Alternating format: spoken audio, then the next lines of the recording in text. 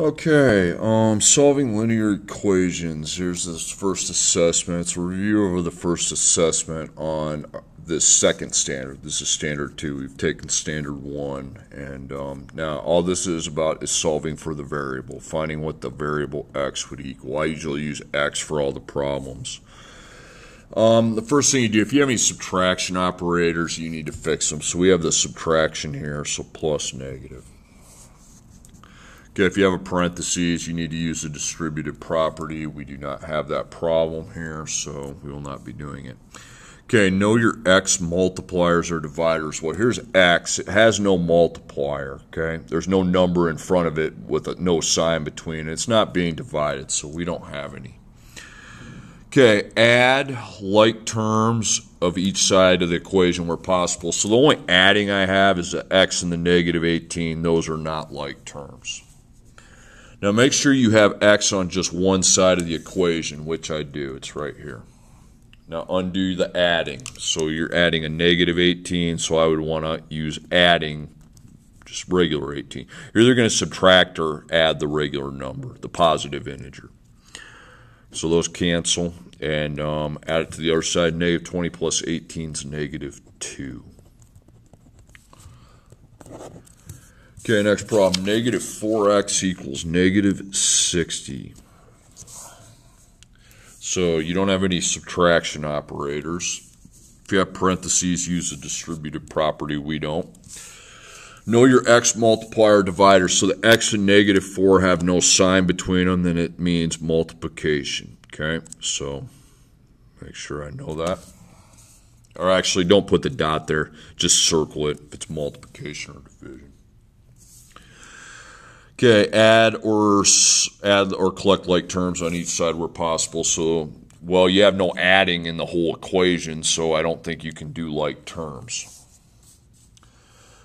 Okay, now undo any adding outside of the multiplication. There's there is none.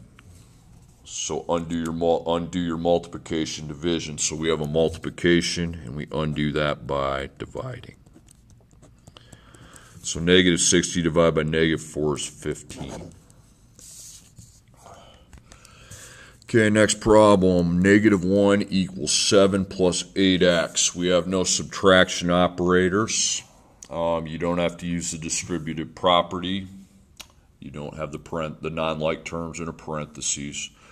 Know your x multipliers are dividers. So here's 8x, so x has a multiplier of 8. So just as long as I know that. Okay, add like terms on each side of the equation where possible. The only addings with the 7 and the 8x, those are not like terms. We cannot add those. Make sure you have x on just one side of the equation. There it is. Undo any adding. Okay, so we have a 7 that's being added to my 8x. So I'm going to take 7 away. Negative 1 minus 7 is going to be negative 8 equals 8x. Now undo your multiplication or division. So the x is being multiplied by 8, so I get rid of it by dividing by 8. So negative 8 divided by 8 is negative 1. Okay, my next problem. Negative 23 equals negative 2x minus 10 plus x. Okay, you got a minus negative 2x and 10 have a minus. Let's make that plus negative.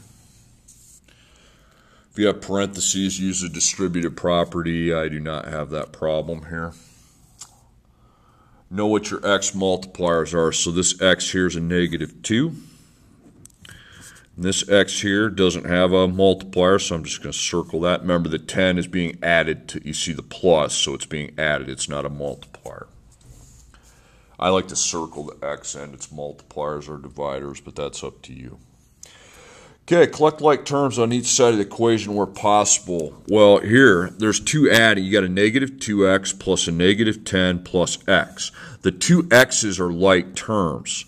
So you got negative 2x, and you're going to add 1x because these x's here are like terms, and they are on the same side, though, so they need to be added. Okay, so I have negative 23. Negative 2 plus 1 is negative 1x, and then we add the negative 10 that's still there. So again, we had two addition. If we have three things being added over here, two of them are like terms. That's a given. Okay, make sure you have x on just one side of the equation. I do. It's right here.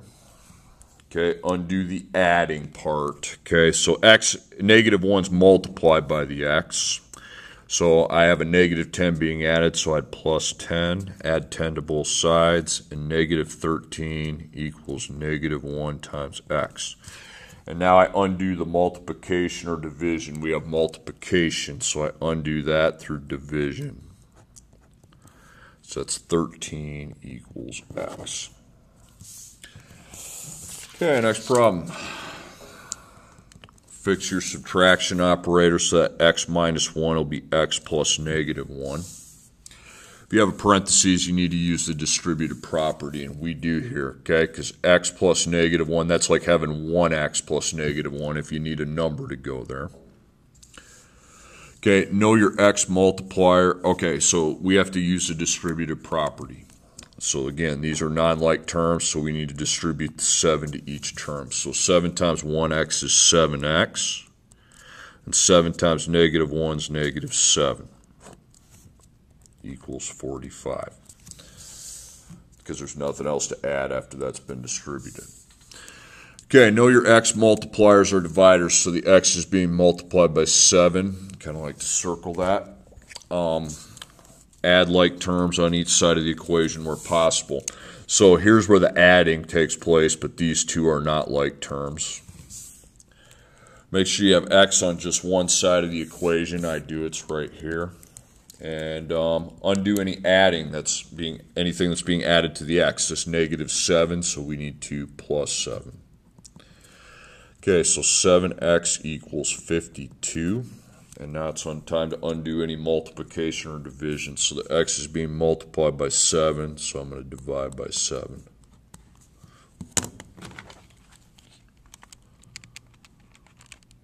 So 7.43, round to the nearest hundredth.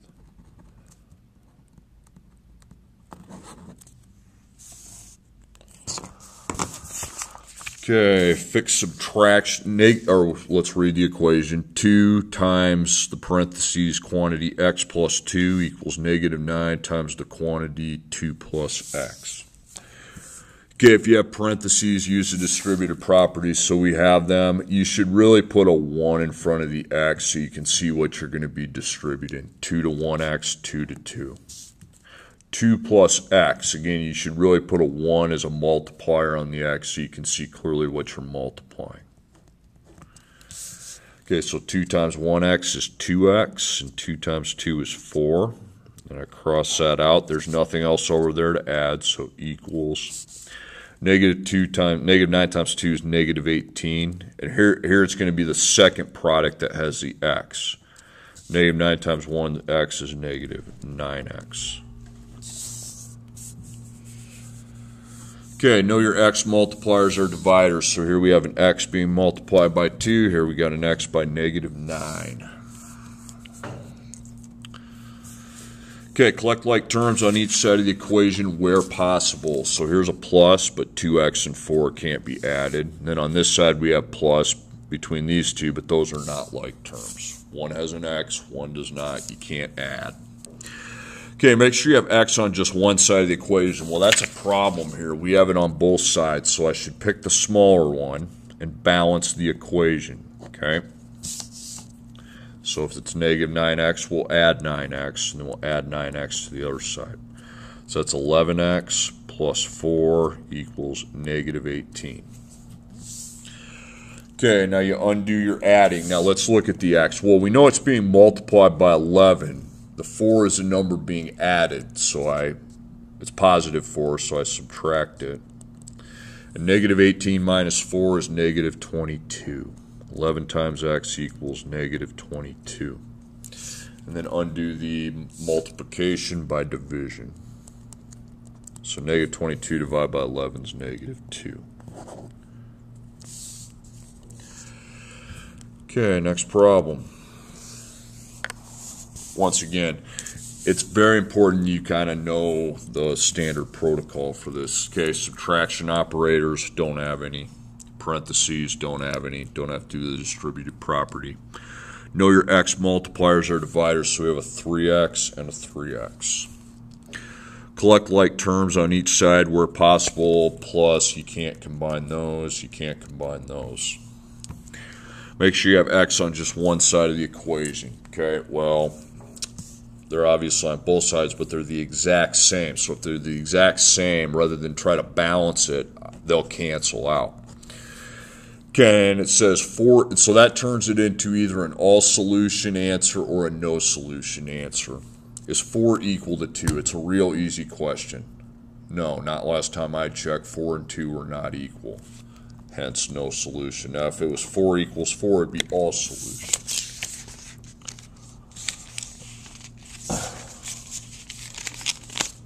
Okay, next problem. x divided by negative 3 plus 6 equals 19. You don't have any subtraction operators. If you have a parenthesis, you don't have a parenthesis, so why even worry about that? Know your x multiplier divider. So x has no multiplier in the front, but it does have a divider.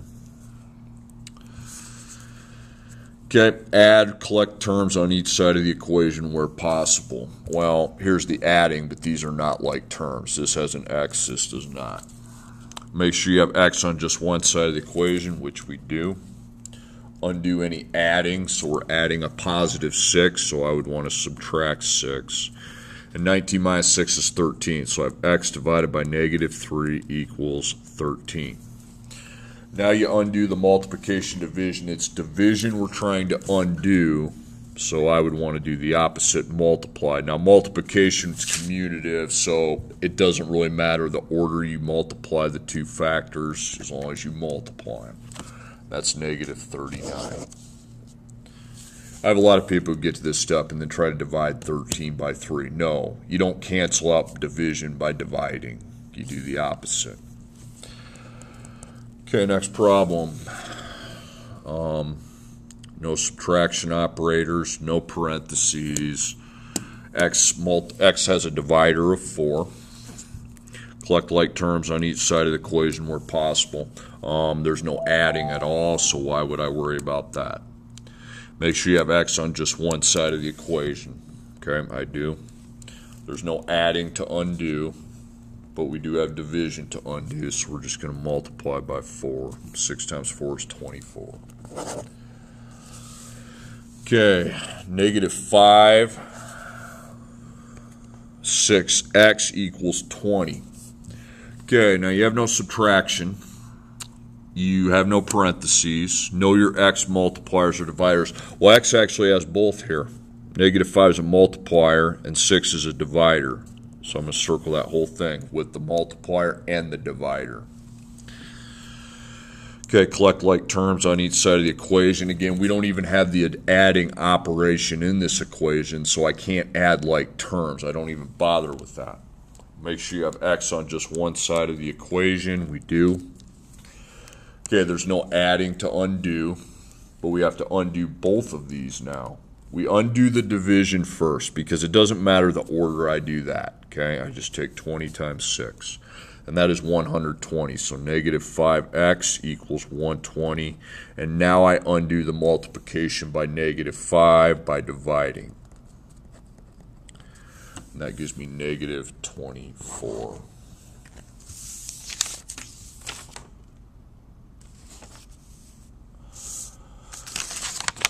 Okay, then some story problems you have $85 in your bank account each week. You remember each week means per week. Each week you plan to deposit $23 into the account. How many weeks from now will you have $175? So we, we want to find the number of weeks. But not only do I just have weeks, I have dollars to go with that. Okay, so I set up an independent dependent variable system here.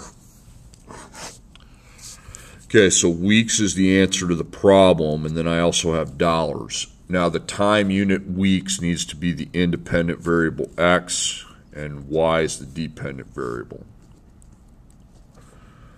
Okay, dollars per week. Dollar each week, so that's $23.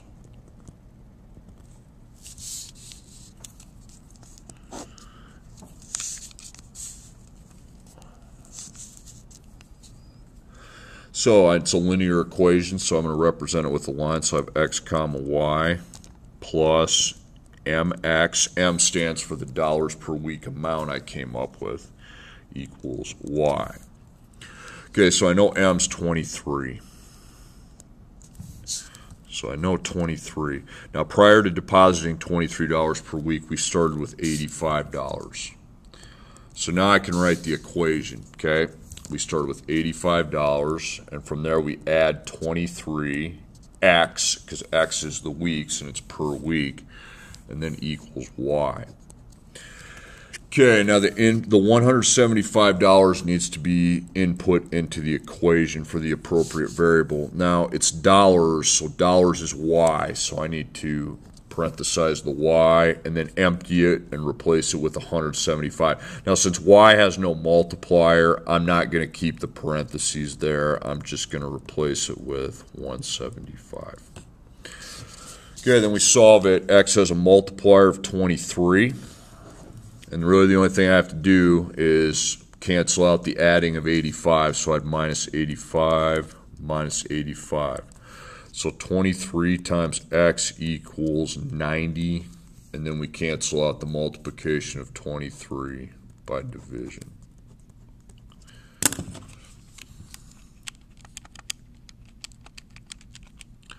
Okay, 3.9. Uh, we're going to go 4. That's close enough to 4. Okay. An office manager spent $650 on a new energy saving copier. The copier will cost $88 each month for electricity. Now the old copier is obviously paid for, but it used to cost $212 each month for electricity. How many months will the copier pay for itself? That means that means when is um when is having the new copier going to cost the exact same amount as the old copier? So we're finding the number of months that those costs are going to be equal. So I have months and dollars. So months is X, dollars is Y. So per dollars per month. Now I have $88 per month and 112 each month, but they're different copiers, so I need to keep those separate. So 88 and 112, or my rates have changed. Okay, now that's going to be two separate lines in. So we have x comma y plus mxy, put equals y there. So I have my beginning point here, xy, x is 0, plus mxy. Okay, now we know we can replace those m's with 88, because 88x, because it's $88 per month, and 112 because that's $112 per month. And then prior to the $88 per month, this copier cost 650. So we're going to cross each one of these out. So that we had an initial amount of money of 650 before we added $88 per month. Now this I don't really see any prior amounts with the 112, so I'm going to assume zero. And remember when we write these equations, when I want to find out when this is equal to this, I don't need the y variable when I write this equation, okay? I want to know when 6, so I want to know when 650 plus 88x is equal to 0 plus 112x. So in other words, it's just 112x. Okay, now we have two x's floating around the problem and um, they're on opposite sides. We need them on just one side of the equation, so we need to balance it. So let's take away our smaller x. It's positive, so we're going to minus. Okay, so we have 650. And we take 112 minus 88, and that's going to give me 24.